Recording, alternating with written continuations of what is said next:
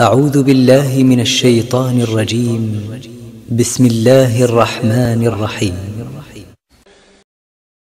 بسم الله الرحمن الرحيم. والصلاة والسلام على النبي صلى الله عليه وسلم. إخواني في الله سئل النبي صلى الله عليه وسلم عن أفضل الصدقة. كما عند أبي داود وعند غيره عن سعد بن عبادة أنه قال يا رسول الله إن أم سعد ماتت. فأي الصدقة أفضل؟ قال الماء. قال فحفر بئرا وقال هذه لأم سعد. إذا نستفيد من ذلك أنك تبحث عن شيء مستمر العطاء لمن أردت أن تتصدق عنه أو أن تتصدق عن نفسك وهذا ما يسمى بالصدقة الجارية. فسقيا الماء فيها أجر كبير. وأما في هذا الزمان فالوصول إلى بئر حقيقي ومن خلاله تحصل الصدقة الجارية المستمرة فلي معه قصة وقصص ولا حول ولا قوة إلا بالله. وكلما وجدت تعبا في تحصيل ما أريد أتذكر أن هذا الأجر الكبير لا يحصل بالسهولة. فعندما تبحث وتناقش من يجعلون الإعلانات كنا نصل إلى حلقة مفرغة عندما نصل إلى مرحلة التثبت.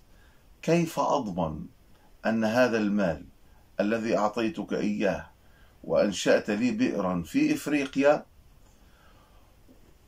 هو عن أمي وأبي أو عن أبي وأمي ولا يشاركنا في ذلك أحد من الناس. كيف؟ قالوا كيف؟ أقول هذه اللوحة تستطيعون أن تجعلونها لمئة شخص. كلما أراد شخص أن ينشئ بئرا جعلتم له هذه اللوحة. فكانت الإجابات متنوعة ومتعددة ومنهم من أعطاني جوابا مقنعا شيئا ما. الجواب المقنع كان كالآتي. أولا أن التصوير بالصوت والكلام يكون قبل إنشاء المشروع وأيضا بعد إنشاء المشروع. اثنين أنه يرسل لك الإحداثيات لهذا المكان الذي يتم فيه إنشاء هذا المشروع. لا أتكلم عن المشاريع المضخة اليدوية و أبو 100 دينار و120 دينار و150 أنا أتكلم عن مشروع يكتفي أو يكفي كثيرا من الناس ويحصل وتحصل الأجر الكبير به وهو ما يسمى بالبئر الارتوازي العميق مع ملحقاته. وبالتالي هذه الخطوة الثانية. الخطوة الثالثة أنك تشهد أهل تلك المنطقة ممن كان إمام مسجد ولذا لابد أن تطلب أن يكون بجانب مسجد فيه صلاة جمعة لكي يتولاه الناس ويتولاه المصلون وتشهدهم على هذا البئر.